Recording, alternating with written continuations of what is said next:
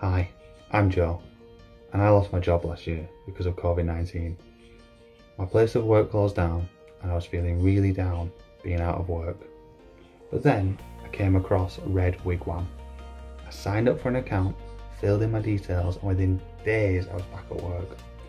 I took a job in a warehouse which I'd never done before, but the guys here showed me the ropes, and everyone is so friendly. I'm really relieved to be back working again. And Red Wigwam have plenty of warehouse work in loads of different locations. Why not sign up and see what they have in your area?